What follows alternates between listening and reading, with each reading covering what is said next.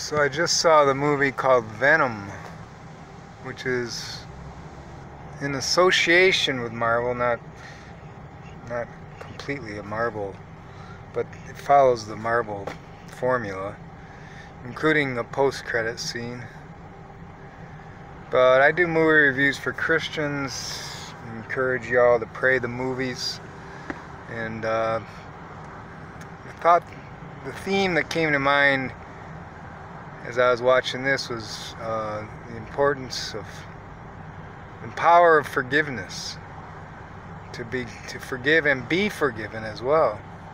Without forgiveness grace and mercy we are all pretty uh, we're, we're living in a, a, a jungle you know it's just eye for an eye. And that's not the way we want to live you know. I mean this is like satanic. There was almost like a satanic aspect to this film. These creatures that inhabit the human beings, like demons, Satan's demons. And you got to cast them out, literally and sometimes psychologically. Sometimes they're real demons, sometimes they're psychological demons. And I started saying to myself, in the name and blood of Jesus, I command you command you out. You have no legal rights here. Jesus is Lord. I was saying that during the movie. And you can pray that as well.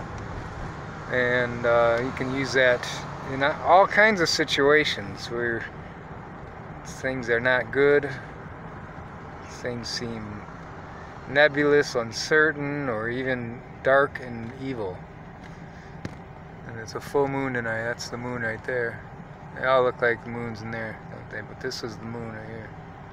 Full moon.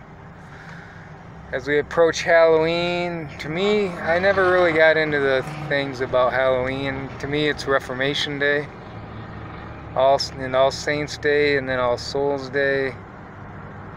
And uh, let us just try to liberate people from the bondage they may be in, including our president, our current person in the who's occupying the White House. Um, I think he is infested with demons, and I think we should try to pray away those demons, cast them out from close or far. If you're close to the president, maybe you can help. If you're a believer, unfortunately, I think he's surrounded by unbelievers or fake believers or what have you. Hear our prayer, Lord, in the name of the Father, Son, and Holy Spirit.